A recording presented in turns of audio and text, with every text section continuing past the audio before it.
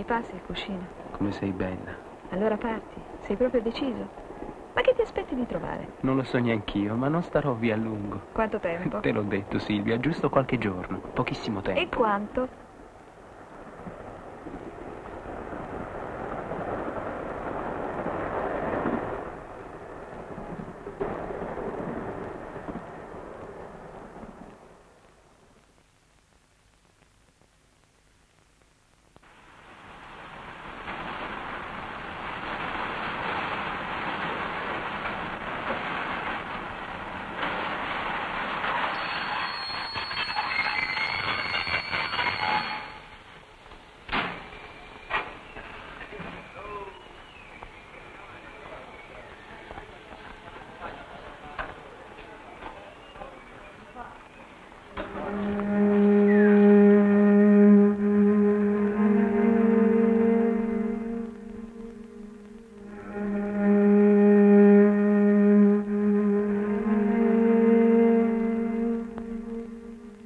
Quanto tempo sarà passato?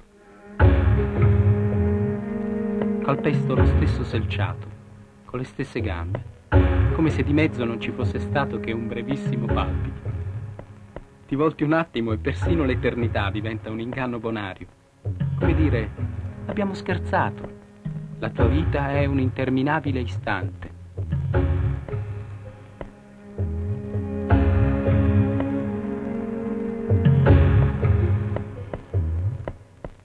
Quel palazzo non c'era. O forse non me lo ricordo. Chissà quando l'hanno costruito. Eppure questo odore ancora mi assomiglia. Non ho mai saputo bene cosa sia. Odore di stazione, di vagone ferroviario. Odore di Nicola. Ma magari solo grasso di macchine, polvere e umidità. Ma da piccolo, quando con Nicola giocavamo nei vagoni vuoti, questo odore era il mare, fare filoni a scuola e mi apriva le porte del desiderio. Oh Nicola, oggi lo faccio io il controllore. Uff, ma scusa, se la bucatrice ce l'ho io, lo devo fare io il controllore e poi il treno di mio padre. Vabbè, allora facciamo che tu eri il controllore ed io il capostazione. Sì, quanto sei scemo. Ed io a chi li controllo i biglietti? Senti Nicola, allora gioco da solo, tanto io metto in moto il treno e arrivo pure più lontano di tuo padre. Oggi arrivo lontanissimo, arrivo sulla luna. Sì, più lontano di mio padre. Ma se mio padre è andato fino all'Australia? Altro che luna, passeggeri in carrozza, si parte. Ciuff, ciuff, ciuff, ciuff, ciuff, ciuff. Guarda, sono arrivato. Guarda fuori dal finestrino, tutti i canguri. Guarda che foresta grandissima. Signori, controlliamo i biglietti. Fermata dell'Australia.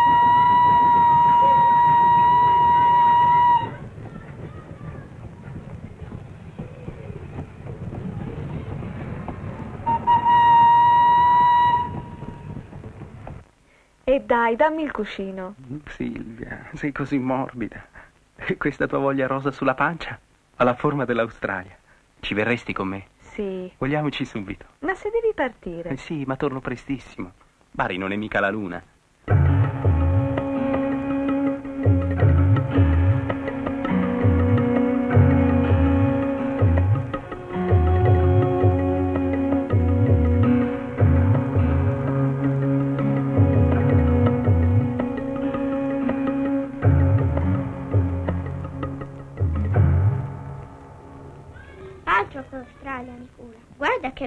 Questa luna tutta piena di buchi. Ehi, ma tuo padre ci è andato veramente in Australia? Zitto. Diretto, scendiamo, sta arrivando Vincenzo. Se ci vede lo dice a mio padre. Quello mi ammazza di botte. Ma sbrigati, cosa fai l'imbambolato? Ma cosa fai l'imbambolato? Pensavo all'Australia. Chissà se il padre di Nicola ci andò davvero. Il padre di chi? Lascia perdere, devo scappare. Ci vediamo fra qualche giorno. Ma come? Già te ne vai? Se non mi sbrigo, perdo il treno.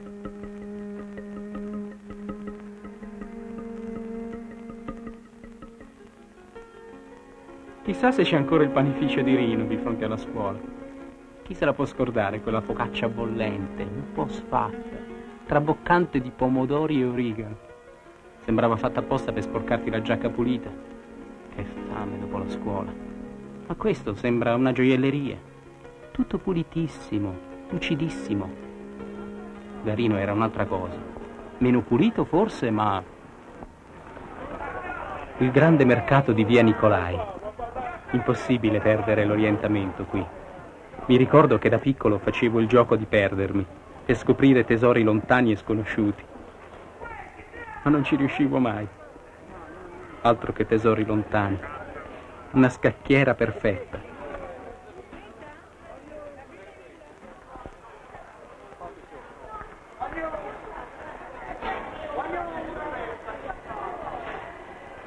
Ognuno che ci serve la moneta! Se non ci avete i soldi, ti faccio rincambiare! Bravi commercianti, ordinati e tutti in fila. Questo fanno i figli del mare quando non navigano più. Si tuffano nei flutti del mercato sfidando folle agguerrite ed acquazzoni improvvisi. Dopo tante dominazioni straniere non gli deve essere difficile. L'identità è pur sempre in questo sapore marcio e frizzante del mare che arriva dappertutto. Anche adesso, per centinaia di miglia, mi attraversa. Ancora non lo vedo, ma è dentro i miei polmoni, dietro la mia pelle.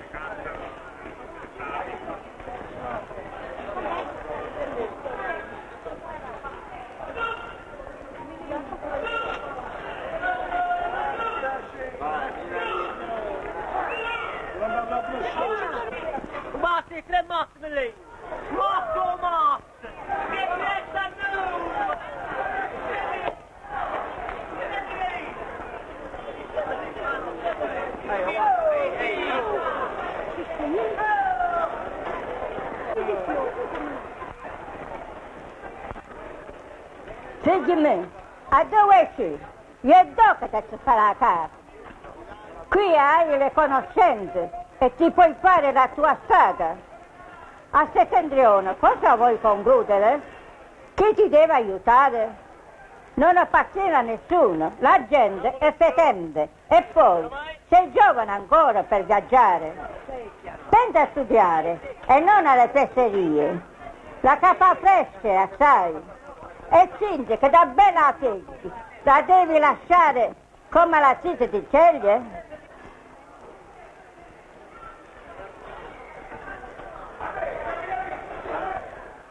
Dove vai, Michele?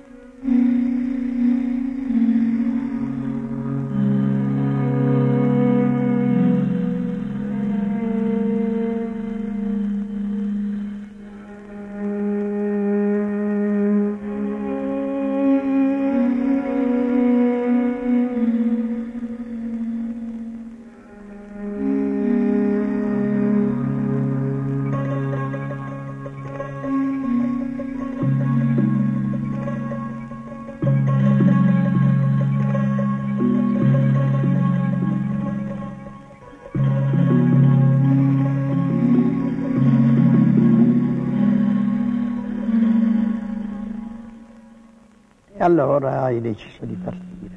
Fatto bene, Michele. da Denzola no, che qui non è più facile come una volta. Prima buttavi la rete e i pesci facevano gara per infilarsi, ora è diverso. L'inverno è più freddo e l'estate è più caldo, manco i pesci ci si raccapezzano più. Tanti anni, per che cosa? Per farsi mangiare dalla salsedine. Una maledetta bestia ingrata il mare, mi ha dato la vita per quattro soldi.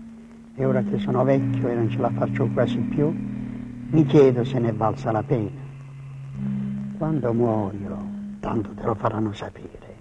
Ricordaglielo, ricordaglielo tu che voglio essere seppellito in mare. Portatemi sulla barca mia e buttatemi al largo. Vorrei che ci fossero tante barche a salutare. E poi vorrei che fosse l'alba. Michele, mi stai a sentire?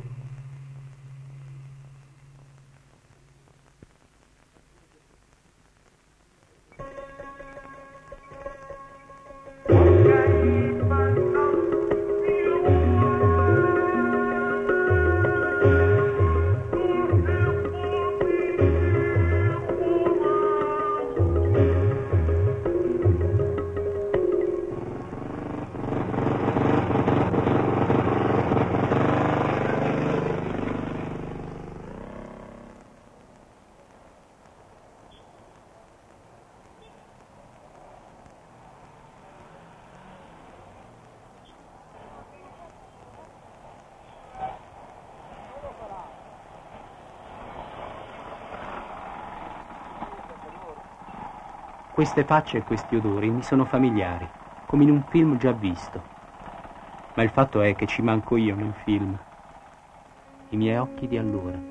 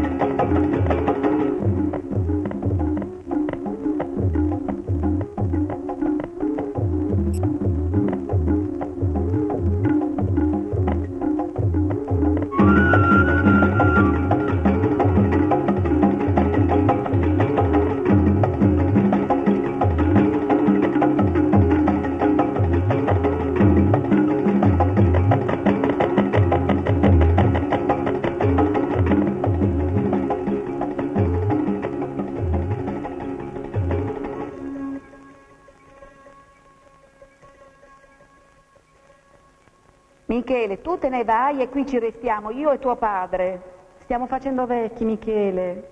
E poi chi se lo deve sopportare tuo padre? Da quando sta in pensione mette il naso dappertutto. Veramente anche da giovane ci aveva sempre da dire. Non che mi sia mai pentita, eh, anche se... Lo sai chi mi voleva a me?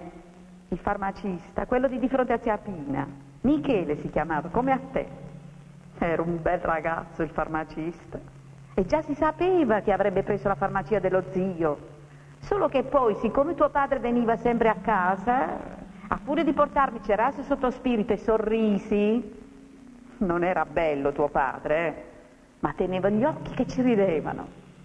Ehi Michele, già stai uscendo? Senti, non dire a nessuno il fatto del farmacista. Anche se hai passato tanto tempo, non vorrei che tuo padre lo venisse a sapere che poi ci resterebbe male. Lo sai com'è qui? Pur le pareti tengono le orecchie.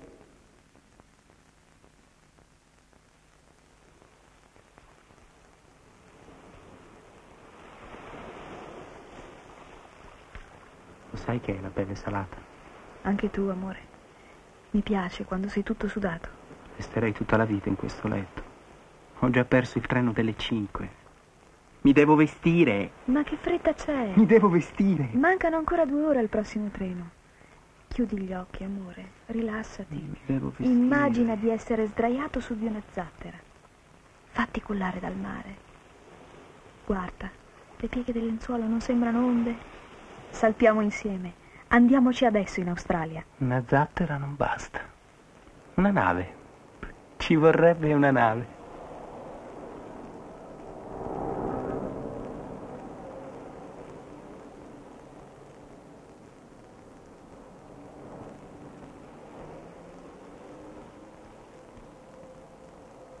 Mare. Sei l'unico mare che mi assomiglia. Ti ritrovo solo per dirmi che anche a rivederti ogni giorno, anche qui, ora che ti ho davanti, ho nostalgia di te, di un tuffo impossibile fin dentro il centro della tua essenza. Come in un gioco di specchi, più mi avvicino, più ti guardo e più quel centro si allontana. Perso nei ricordi, perso nel mio ombelico e in quello che non so dirmi di me. L'orizzonte è uno schermo, lontano, impermeabile, liscio. Il vento presto cambierà.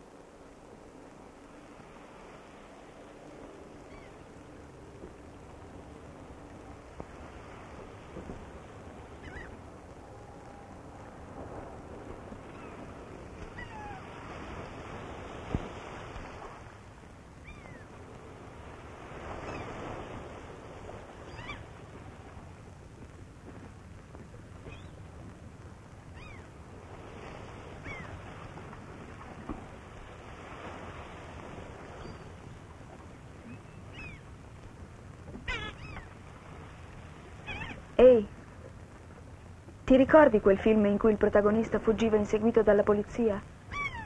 Eppure si fermava un attimo, incantato, a guardare il mare. Anche tu ti incanti come un bambino di fronte al mare. E poi fuggi, fuggi sempre. Ma perché non ti fermi mai?